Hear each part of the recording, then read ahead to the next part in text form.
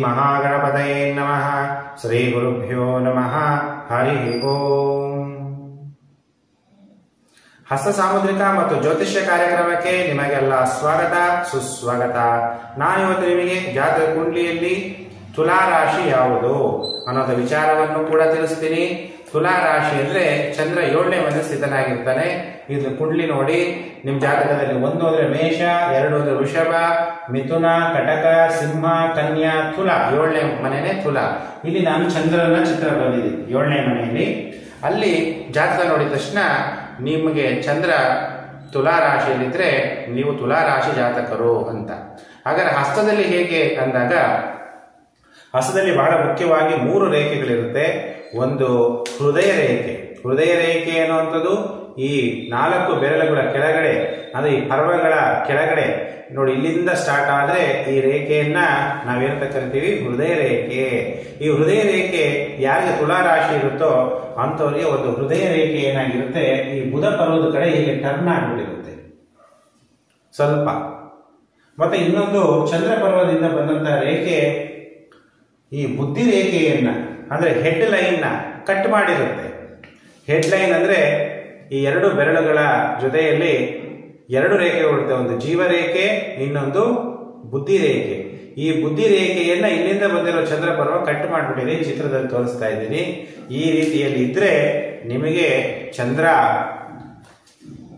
ಸಪ್ತಮ ಭಾವದಲ್ಲಿ ಅಂದ್ರೆ ತುಲಾ ರಾಶಿಯಲ್ಲಿ ಚಂದ್ರ ಸ್ಥಿತ. ಅಂದ್ರೆ ಮೇಷ ಮೊದಲನೇ ಭಾವ ಅಂದಾಗ ಏಳನೇ ಭಾವ ಅಂದ್ರೆ ಸಪ್ತಮದಲ್ಲಿ ಅಂದ್ರೆ ಚಂದ್ರ ತುಲಾ ರಾಶಿಯಲ್ಲಿ ಸ್ಥಿತನಾಗಿದ್ರೆ ಜಾತಕನ ತಾಯಿ ಲಕ್ಷ್ಮಿಯಂತೆ.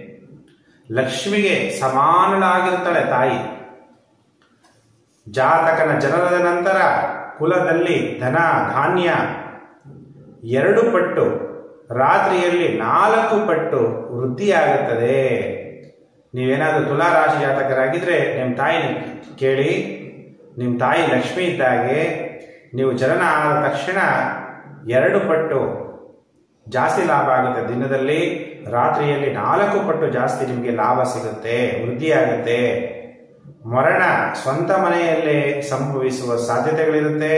ಜಾತಕರು ನಿಗೂಢ ವಿದ್ಯೆ, ಸಾಮುದ್ರಿಕ ಶಾಸ್ತ್ರ, ಜ್ಞಾನಿಗಳಾಗಿರ್ತಾರೆ, ಹಸ್ತನೂ ಕೂಡ ಈ ರೀತಿ ಇರಬೇಕು. ಸಾಧುವಾದರೆ ಸಾಧನೆ ಸಿದ್ಧಿಯ ಸಂಪನ್ನನಾಗುತ್ತಾರೆ, ಕಲ್ಪನೆ ಮತ್ತು ವಿಲಕ್ಷಣ ಶಕ್ತಿಯ ಒಡೆಯನಾಗುತ್ತಾನೆ. ಯಾವುದೇ ವಿಷಯದ ಕುರಿತು ಬುದ್ಧಿ ನೀರಿನಂತೆ ನಿಮ್ಮದು ಪ್ರವಹಿಸುತ್ತದೆ. ಸುಖ ಸೌಭಾಗ್ಯಗಳು ಭೋಗಿಸುತ್ತೀರಿ ಶ್ವೇತ ವರ್ಣದ ಪದಾರ್ಥಗಳಿಂದ ವಿಶೇಷ ಲಾಭ ಅನ್ನೋದು ನಿಮಗೆ ಪ್ರಾಪ್ತಿ ಹೊಂದುತ್ತೀರಿ. ದ ದಾಂಪತ್ಯ ಜೀವನ ನಿಮ್ಮದು ಆನಂದಮಯವಾಗಿ ನಡೀತದೆ, ಪತ್ನಿಗೆ ವಿಶೇಷ ಸಫಲತೆ ಪ್ರಾಪ್ತಿಯಾಗುತ್ತದೆ. ಈ ಎಲ್ಲಾ ಸ್ಥಿತಿಗಳಿಂದ ಜಾತಕನ ಹಸ್ತ ಈ ಚಿತ್ರದಂತೆ ಇರಬೇಕು. ಚಂದ್ರ ಸಪ್ತಮ ಭಾವದಲ್ಲಿ ತುಲಾ ರಾಶಿಯಲ್ಲಿ ಇದ್ದಾಗ ನಿಮಗೆ ಇವೆಲ್ಲ ಫಲಗಳು ನಡೆಯುತ್ತೆ. ಇದೆಲ್ಲ ನೀವು ಕಾರ್ಯಕ್ರಮವನ್ನು ನೋಡ್ತಾ ಇರೋದ್ರಿಂದ ನಿಮ್ಗೆಲ್ಲರಿಗೂ ಸಹ ಧನ್ಯವಾದಗಳು ಫೇಸ್ಬುಕ್ ವಾಟ್ಸಪ್ ಗ್ರೂಪ್ ಅಲ್ಲಿ ವಿಡಿಯೋವನ್ನು ಶೇರ್ ಮಾಡಿ.